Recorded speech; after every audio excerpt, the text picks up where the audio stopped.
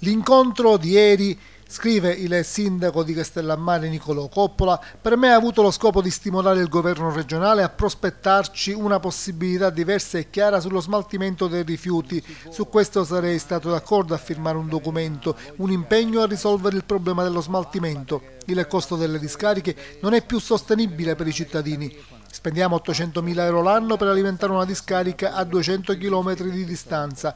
Occorre che il governo regionale non rimanga immobile e affronti il problema. L'incontro di ieri, a mio parere, ribadisce Coppola, ha avuto lo scopo di stimolare in tal senso ed è stato illustrato un sistema possibile che sarà valutato dalla SRR.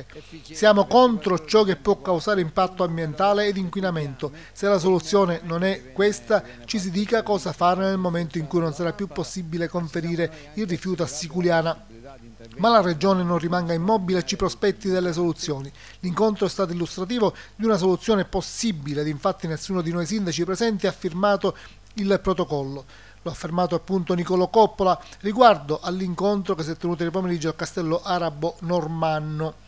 È stato sottoposto un protocollo d'intesa ai sindaci sul sistema integrato per il trattamento dei rifiuti organizzato da SRR Trapani Nord, società per la raccolta dei rifiuti. Nessuno dei sindaci presenti ha firmato il protocollo poi consegnato al presidente della SRR, il sindaco di Valderice Girolamo Spezia. La proposta è stata quella di realizzare un gassificatore ad alta temperatura per la Sicilia occidentale, tra le province di Trapani e Palermo ed Agrigento, precisamente in un'area nei pressi dello svincolo di Gallitello, in 12 ettari di terreno in territorio di Calatafimisi e Gesta. L'ingegnere Luca Spadacini dell'OESA, Officina Elettronica Strumentazione Automazione, esperto nella progettazione di sistemi per il trattamento integrato dei rifiuti solidi urbani, ha illustrato le tecnologie disponibili, tra le quali quella del gassificatore, impianto che dai rifiuti ricava combustibili gassosi impiegabili per la produzione di energia, parlando di sistema presente in Svizzera, Svezia e Giappone a basso impatto ambientale